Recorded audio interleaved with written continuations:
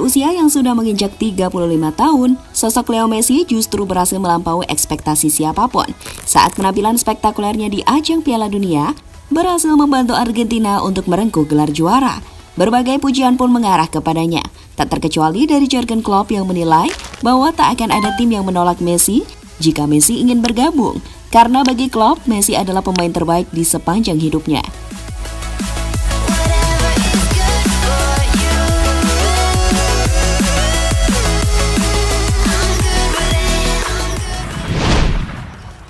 Lucky in moments, and now they did it in the greatest footballer of my lifetime, watching properly Lionel Messi, the way he played football in, a, in, a, in, in this age, which should give us all a hint.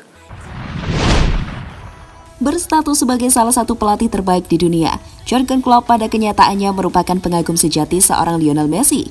Bagaimana tidak?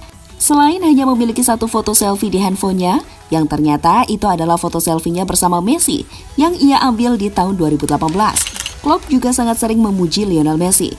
Di mana yang terbaru, pujian besar Klopp ia berikan seusai Lionel Messi berhasil mengantarkan Argentina merengkuh gelar juara Piala Dunia 2022 di Qatar beberapa waktu yang lalu.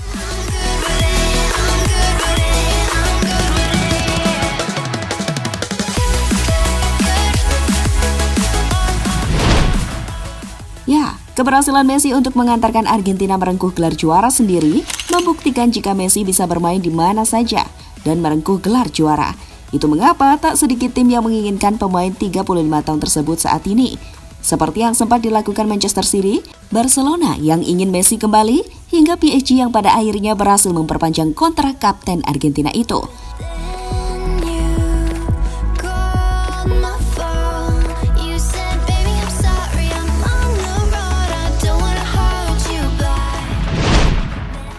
Keinginan tim-tim tersebut untuk bisa mendapatkan Messi tentu bukan tanpa dasar. Performa di Piala Dunia adalah bukti jika Messi masih yang terbaik di dunia. Bagaimana tidak? Dalam ajang yang menempatkan Messi sebagai pemain terbaik tersebut, La Pulga berhasil mencatatkan namanya sebagai top assist, pemain paling banyak meraih gelar Man of the Match, dan juga top skor kedua di bawah Kylian Mbappe.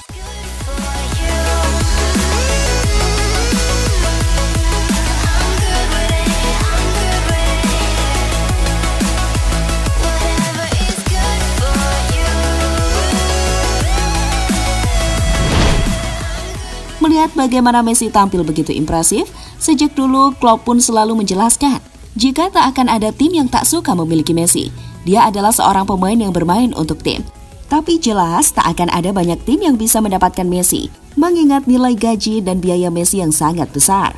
Apakah saya tertarik? Tentu saja. Siapa yang tidak mau punya Messi di tim Anda? Saya rasa mustahil kami bisa membelinya. Harganya itu tidak cocok untuk kami. Kami tidak mau berandai-andai karena itu sudah jelas mustahil. Namun sejujurnya dia adalah pemain yang bagus.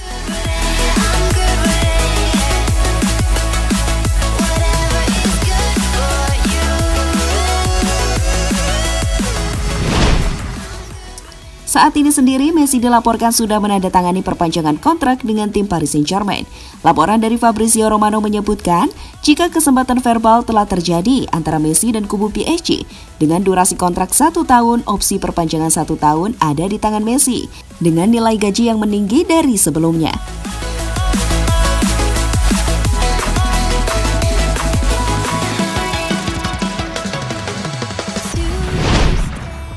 Musim ini sendiri dampak Messi untuk tim PSG jauh lebih baik daripada musim perdananya. Tercatat dari 19 laga yang ia mainkan bersama Paris Saint-Germain, Messi telah membuat 12 gol dan 14 assist yang menempatkan namanya sebagai salah satu pemain paling kontributif untuk tim di sepak bola Eropa.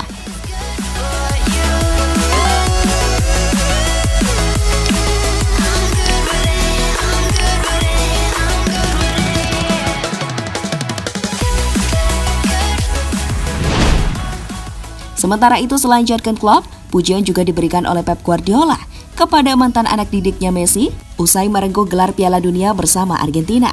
Menurut pelatih Manchester City itu, gelar Piala Dunia membuat tak akan ada yang bisa meragukan Messi sebagai yang terbaik dalam sejarah. Setiap orang memiliki pendapat, tetapi tidak ada yang bisa meragukan dia. Sudah berada di sana sebagai yang terhebat sepanjang masa. Bagi saya, dia yang terbaik. Sulit memahami ada pemain yang bisa bersaing dengan apa yang telah dia lakukan, kata Pep Guardiola dikutip dari Goal International. Saat ini fokus Messi memang tengah berada di Paris. Tambahan kontrak satu musim membuat ia akan bertahan di PSG hingga usianya 37 tahun. Lantas, akankah Messi bisa bertahan untuk mencicipi kerasnya Liga Inggris selanjutnya? Meski akan sulit, cerita itu jelas bukan mustahil. Seperti bagaimana Messi menginspirasi Argentina merengkuh gelar juara dunia saat usianya menginjak 35 tahun.